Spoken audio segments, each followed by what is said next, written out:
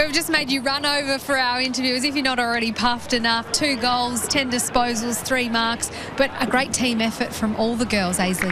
Yeah, that, that's it exactly. Like we knew coming out here, there could be a bit of complacency, and we really wanted to show Richmond the respect they deserve. Like looking back in their previous games, you know they've been actually doing quite well and really pushing teams. So today we really want to come out and make a big team effort. You know, some quarters we're starting quite slow in our games, and it's something we're trying to improve on. I'd say when we go back, there's definitely a lot we need to work on. Probably that last quarter, but um, look, we got the result we wanted. Um, three, three wins in a row. I think it's the first time for Collingwood, so you know, take the positives. Three wins in a row.